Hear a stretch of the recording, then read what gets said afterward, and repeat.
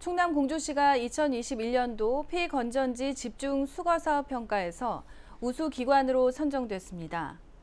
시에 따르면 올해 공동주택과 산업단지 등을 대상으로 폐건전지 수거 캠페인을 지속적으로 펼쳐오면서 총 9.3톤을 수거하며 2위를 기록해 우수상을 수상했습니다.